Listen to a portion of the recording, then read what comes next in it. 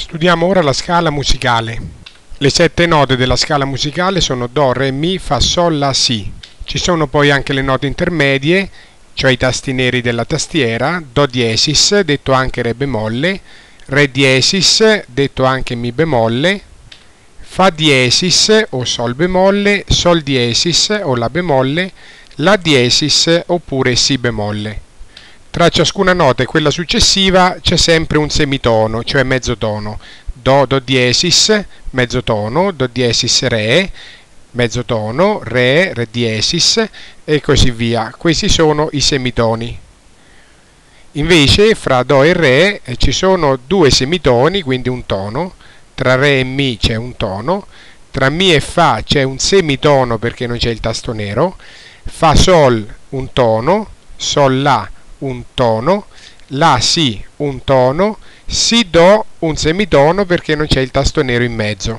Ora immaginiamo di avere una corda lunga 20 cm da, que da questo nodo a quest'altro e immaginiamo di aver regolato la tensione della corda, per esempio girando la chiave, cioè il bischero, in modo tale che questa corda suonata a vuoto suoni il, il Do della terza ottava, Do 3. Se noi dimezziamo la lunghezza della corda, bloccandola qua mettendo per esempio un ponticello e tenendola qua con il dito, esattamente come si fa con una chitarra, allora la lunghezza della corda si dimezza, diventa solo di 10 cm e sappiamo che in questo caso la frequenza raddoppia e quindi la corda suona eh, la nota dell'ottava superiore, quindi il Do 4. Ci poniamo il problema di eh, in quali punti va bloccata la corda affinché eh, suoni tutte le altre note. Note che tra il Do 3 e il Do 4 sono 12 semitoni, compresi i tasti neri. Infatti, questo è il Do 3, poi abbiamo 1, 2, 3, 4, 5, 6, 7, 8, 9, 10, 11 e 12, cioè 12 semitoni. Allora verrebbe spontaneo eh, dividere questa lunghezza in 12 parti uguali e ogni, ogni parte associarla a un semitono. Le 12 parti uguali sono tutti questi trattini 1, 2, 3, 4, 5, 6, 7, 8, 9, 10, 11 e 12 e immaginare che qui c'è il Do 3 accorciando la corda in modo che la sua lunghezza vada da qua fino a qui questo sia il Do diesis da qua a qua sia il Re il Re diesis, il Mi e così via. Quindi ogni dodicesimo di questi 10 cm eh, dovrebbe essere un semitono. In realtà non è così. Per dimostrare che non è così che si costruisce la scala musicale, io ho preso una delle corde del sonometro, che in realtà era più lunga di 20 cm, però ho fatto lo stesso procedimento indicato qui, l'ho divisa a metà e poi la metà l'ho divisa in 12 parti uguali e con questa scala così costruita ho suonato San Martino Campanaro che come possiamo sentire qua è venuta veramente suonata molto male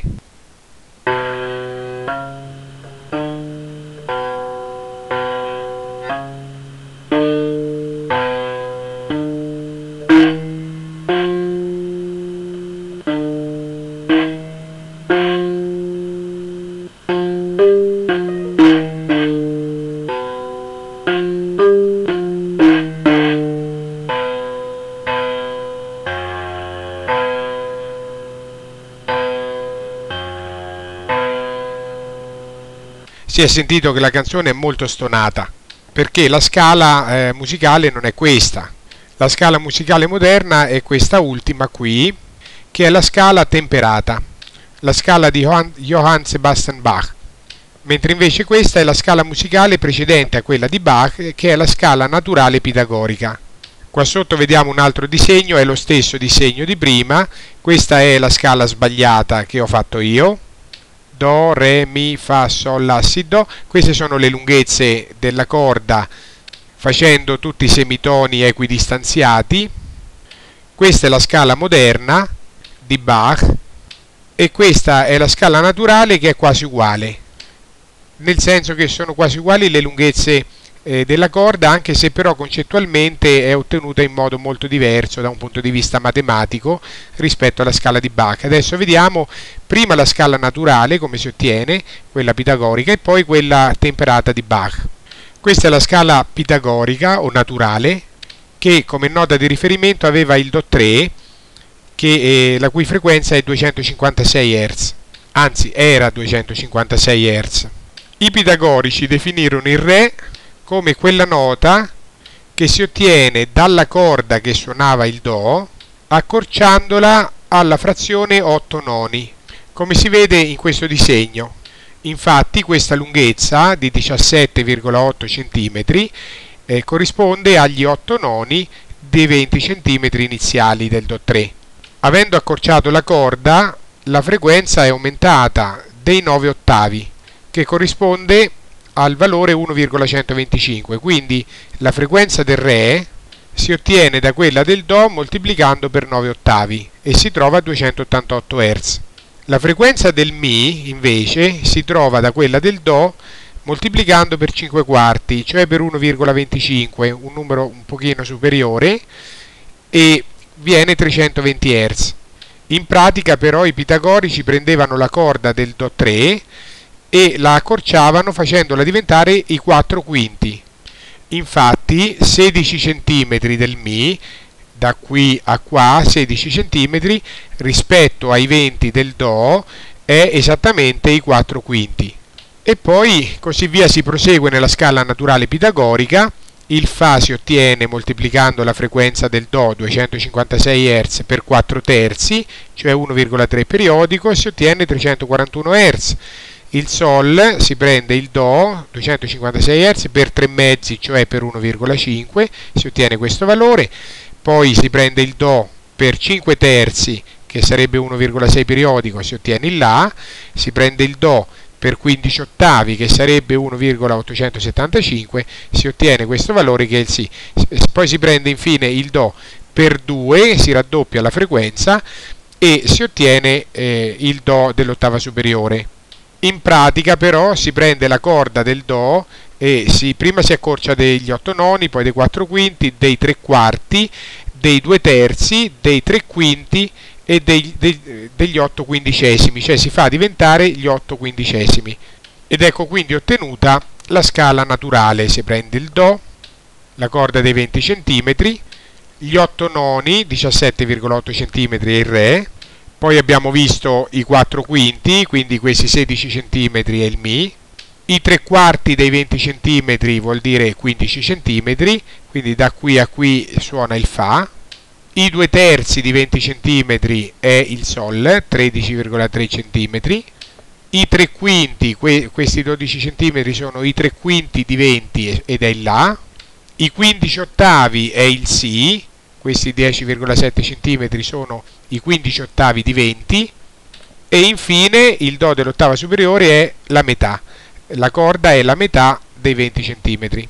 Dunque i pitagorici riconducevano anche tutta l'analisi armonica ai numeri interi e ai rapporti tra interi, cioè i numeri razionali. In questa tabella sono indicati i gradi che abbiamo appena visto della scala naturale pitagorica, con i rapporti che abbiamo appena detto, 9 ottavi, 5 quarti, 4 terzi e così via. Notiamo anche che in questa scala il tono non ha sempre lo stesso valore in Hertz, per esempio tra il Do e il Re c'è un tono, sono 32 Hz, lo stesso tra il Re e il Mi 32 Hz, ma anche tra Fa e Sol c'è un tono, soltanto che sono 43 Hz. 43 Hz anche tra Sol e La, ma 53 Hz tra il La e il Si. Anche il semitono che sta tra il Mi e il Fa eh, non ha lo stesso oh, valore in Hz che ha il semitono tra il Si e il Do 21 Hz questo semitono, 32 Hz quest'altro. Questo si vede anche a occhio a livello proprio visivo, perché nella scala naturale pitagorica, che è questa, il tono che c'è per esempio fra il Do e il Re si vede che non è uguale al tono che c'è per esempio tra il La e il Si, perché questa distanza è più corta rispetto a questa. E la stessa cosa vale per i semitoni. Il semitono tra Mi e Fa è diverso dal semitono fra il Si e il Do. Tuttavia, quello che rimane invece sempre uguale è il rapporto tra la frequenza di una nota e la frequenza della nota che è che è un tono sotto, tipo tra il Re e il Do, oppure tra la frequenza del Mi e quella del Re. Vediamo che questi rapporti sono all'incirca di 1,12, sono circa costanti cioè il rapporto fra per esempio questo Re e questo Do che sono separati da un tono, cioè tra 288 e 256, questa frazione è circa 1,11, 1,12. Lo stesso valore più o meno ce l'ha 320 diviso 288, perché qui c'è un tono. Oppure il rapporto 384 diviso 341, perché qui c'è un altro tono, e così via. Allora si decise di sostituire la scala naturale pitagorica con la scala temperata, che è la scala moderna proprio richiedendo che i rapporti di frequenza fra una nota e la nota eh, precedente fossero tutti uguali e utilizzando i semitoni invece dei toni. Per esempio, il rapporto fra la frequenza dell'A e quella del Sol diesis, che è un semitono sotto, doveva essere eh, un certo valore K, eh, lo stesso valore che c'era tra il Sol diesis e il Sol, lo stesso valore di rapporto che c'era tra il Sol e il Sol bemolle e così via, tra ogni nota e quella che era un semitono sotto. Quindi questi sono eh, tutti i rapporti tra questi numeri uguali a K, un valore costante partendo dalla prima nota che viene cambiata rispetto alla scala pitagorica, non è più il Do 3 eh, a 256 Hz ma è il La 4 a 440 Hz. A partire da questa nota tutte le altre note si ottengono come tanti gradini moltiplicando ogni volta la frequenza per questo valore costante K. Quindi la diesis si ottiene da 440 Hz moltiplicando per K, il semitono ancora più su, cioè il Si, si trova ancora moltiplicando questo per K, per K per K per K fino a, ad arrivare all'A dell'ottava superiore la cui frequenza è doppia, quindi il doppio di 440 Hz, 880. Ora c'è da calcolare il valore di questa costante K. Per calcolare il valore di K partiamo da questo La e ricaviamo tutte le altre note in funzione della frequenza della 4 che chiamiamo F0, sono 440 Hz. Per esempio, questo Do si trova tre semitoni sopra all'A, 1, 2, 3. Quindi la sua frequenza, che ancora dobbiamo immaginare di non conoscere, la otteniamo, la chiamiamo F3 e la otteniamo moltiplicando 440 Hz per K alla terza. E ancora non conosciamo questo valore perché non sappiamo ancora quanto è K. Procedendo fino all'ultima eh, nota in alto, cioè la 5, la frequenza della 5 si ottiene dalla frequenza F0, cioè da 440 Hz, moltiplicando per k alla dodicesima, perché ci sono 12 semitoni in mezzo. I 12 semitoni che abbiamo visto prima sulla tastiera. Ma sappiamo anche che la frequenza dell'A dell'ottava superiore è il doppio di F0, è il doppio di 440 Hz. Quindi F dodicesima, che è la frequenza dell'A l'ottava sopra, è due volte f0 e è k alla dodicesima per f0, f0 si semplifica e viene k uguale alla radice dodicesima di 2, quindi questo è un fattore costante moltiplicativo, vale circa 1,059. La stessa dimostrazione la vediamo sotto nel caso particolare in cui abbiamo sostituito, sostituito le frequenze. F12 è 880 Hz là sopra eh, F0 è 440 Hz. Dobbiamo ricavare K che è l'incognita. Quindi viene 2 dopo aver semplificato 2 uguale K alla dodicesima K uguale radice dodicesima di 2 dunque questo è il fattore moltiplicativo radice dodicesima di 2 che mi fa passare da una nota alla nota che si trova un semitono sopra. Se io invece voglio passare da una nota a quella che sta un semitono sotto, devo dividere per K. Se voglio passare a quella che sta due semitoni sotto, devo dividere per K alla seconda. Invece se devo passare a quella che sta due semitoni sopra, devo moltiplicare per K alla seconda e così via.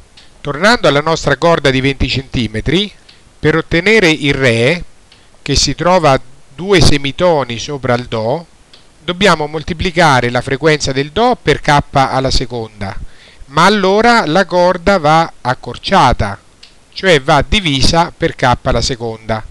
Dunque, se noi prendiamo i 20 cm e dividiamo per 1,059, che è il valore approssimativo di k, otteniamo questa lunghezza e se dividiamo ancora per 1,059 otteniamo la lunghezza del Re e viene circa 17,8 cm uguale praticamente al Re che era eh, stato ottenuto dalla scala pitagorica se dividiamo ancora per k alla seconda arriviamo al Mi che eh, corrisponde a una, corda, a una lunghezza della corda di 15,9 cm quasi uguale al Mi della scala naturale dividiamo ancora la corda, la lunghezza della corda per k per 1,059 e otteniamo il Fa 15 cm uguale alla scala pitagorica.